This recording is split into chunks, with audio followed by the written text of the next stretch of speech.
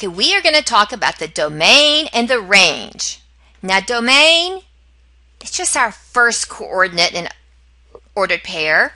We usually think of it as our x's. Our x's run from the left to the right. I have x's way down here, even at negative 100. This goes, goes on and on and on to negative infinity.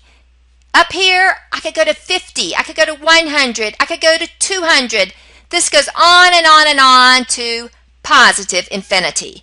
Our x's, we look at the x's, part of the graph that's down here. These are the negative x's, these are the positive x's. We also have our y's. Our y's go up and down. This is y at 1. This is y at 2. Anything across here, the y's are 2. Y's at 3. y's at 4 in this area. They go up, up, up, all the way to positive infinity. Of course, down here, negative infinity. When you talk about the domain and range, it's usually an interval of numbers. So you do need to make sure you put them in order from the smallest to the largest. Let's get to work. This is a line. f of x equals 3x plus 2. You should remember how to graph this. This is in the form y is equal to mx plus b. Very quickly, the y-intercept, it crosses the y-axis at 2. And the slope is 3, also known as 3 over 1. So I will rise 3, I will run 1. This is a line.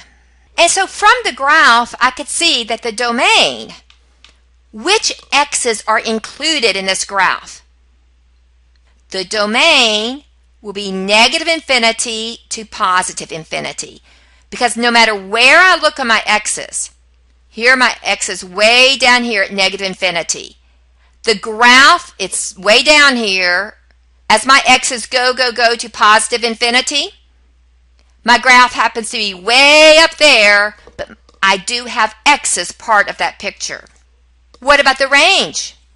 The y's start low and they end high. Here are the y's way down here at negative infinity. These are the negative infinities. Yes, my graph is touching down there. And the y's, they go up, up, up, all the way to positive, positive infinity. Let's try to determine the domain and the range of this picture. I don't have an equation, but I do have a picture of a graph.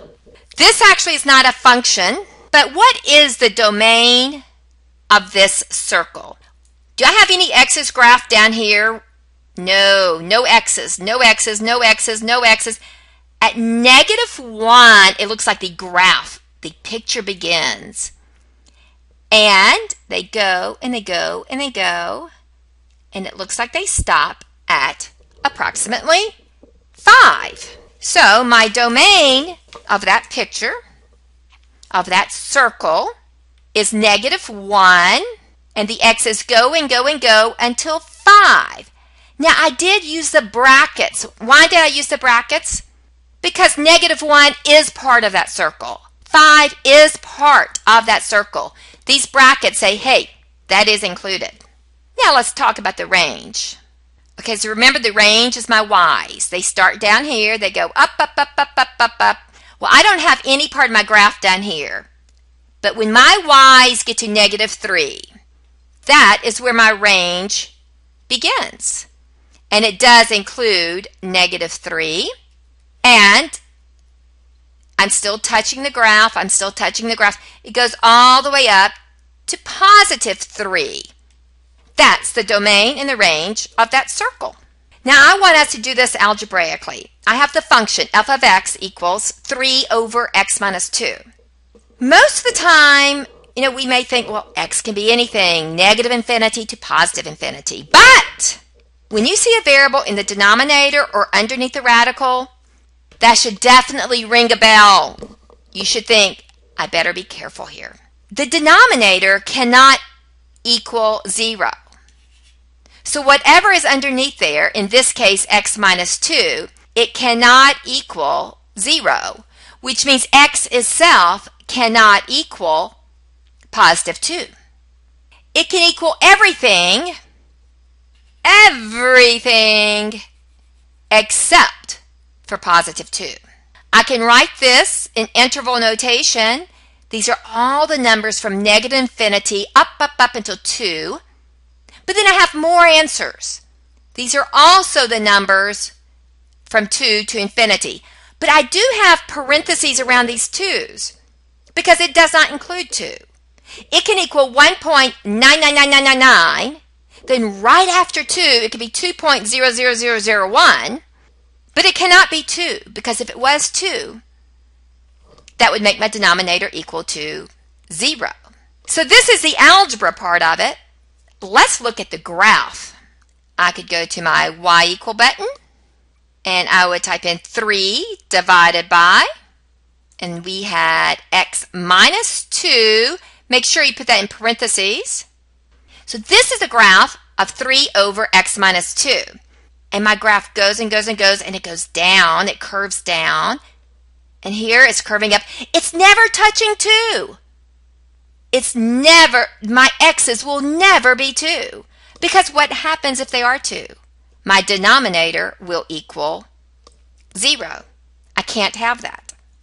Okay, I know this is not too pretty, but, but the graph f of x equals 1 over x it's basically like that. I do have a vertical asymptote, you know, because x cannot equal 0 here. Okay, so this function will make it shift to the right two places. So if I took my graph, shifted it to the right two places, now you can see my vertical asymptote is at 2. So once again, we now ask you what the domain is, all of my x's from negative infinity and it goes and it goes and it goes and whoop, stop, take a break at 2. But then it starts again and goes from 2 or right after 2 to infinity. And we got the same answer that we did when we did it algebraically. Let's try another one. What is the domain of this function? f of x equals the square root of x minus 4. Well, whatever is underneath this radical, it has to be greater than or equal to 0. It can be 0, it just can't be a negative, which means x has to be greater than or equal to 4. So it could be any number greater than or equal to 4. How do I write this domain? It will start at 4 it does include 4, which is why I did the bracket, and it goes to infinity. The domain is 4 to infinity. Let's get a visual on that. Okay, so this is the graph of the square root of x. But the square root of x minus 4, that is going to shift my graph to the right 4 units. And if I want to look at this and see the domain, I will use this line to help me. Is my graph over here to the left? No, no, no, no, no, no, no. But when it gets to 4, that's where my graph starts. And it includes 4.